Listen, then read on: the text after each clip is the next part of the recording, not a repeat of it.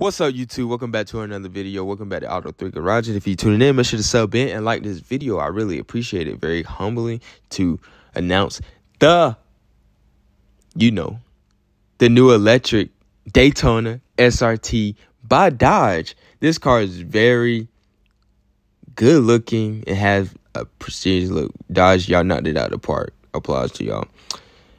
As you can see, this is the front end of the car. It's carrying over the heritage of the 60s and 70s uh, Daytona Chargers uh, from back then. As you can see uh, with the logo, the Fratzonic logo, it has been carried over. The front opening of the grill reminds me of the 70s Dodge um, Challenger, Charger, or Daytona, whatever it's really giving me that same uh, vibe as you can see. It has a very modern and classic look uh, which is mixed uh, very well together. And it has the recent look of the 2021 2022 uh, years and so forth you know? Um, just look at it. You can't tell me this thing don't look sick man.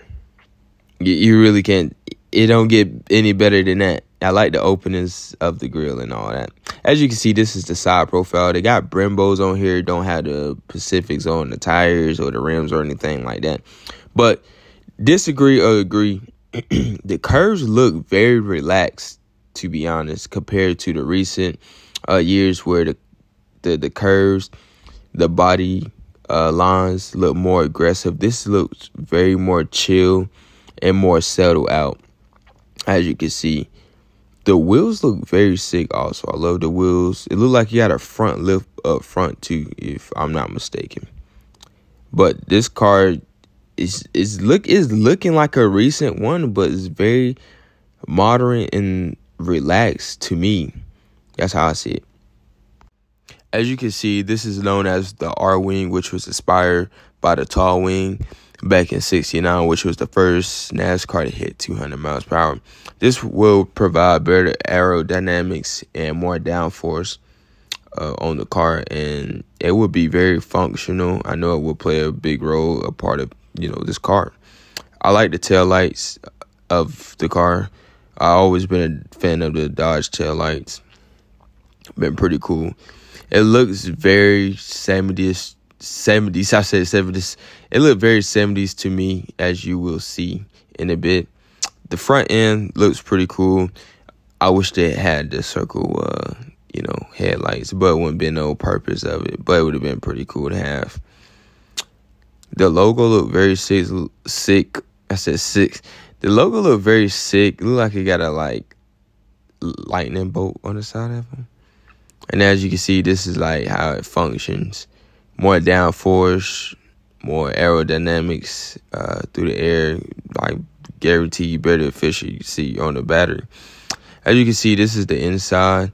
I really hope the quality of it is like top notch, which I which I highly know it will be because Dodge they be on top of it.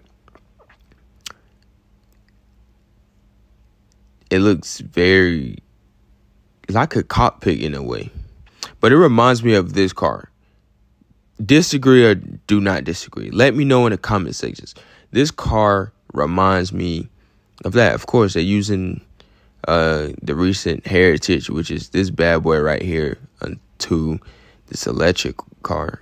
And it's like it got souped up so good, as you can see. Let me know. So Dodge don't have Pacific on the specs yet, but they claim that it's going to be faster than the Hellcat, which I would like to see on videos or in person sometime. It's based on an 800 volt uh, electric architect um, with the Banshee uh, powertrain. And it also has a multi-speed transmission, a temporary horsepower, uh, push button, and a Fratzonic uh, exhaust, which will be sound like a Hellcat or way better. And also, missing one key ingredient, the thing is all wheel drive. Ain't that crazy? Compared to the other cars, which is rear wheel drive, which all the power is just going down on them two wheels. Just imagine going all on four. As you can see, Dodge will be using the same setup, uh, the 800 volt architecture, uh, same as the Taycan, the e-tron, the Honda, and the Kia, as you see, which you have double. As you can see, this is a beautiful car, but we gonna miss this. We really is. Same with you know the Charger and the Challenger. We gonna miss them V8s uh, growling underneath. These cars gonna go up in value too. I feel like um, people gonna be wanting these honestly, but we gonna see how everything gonna play out. But this is the new electric car.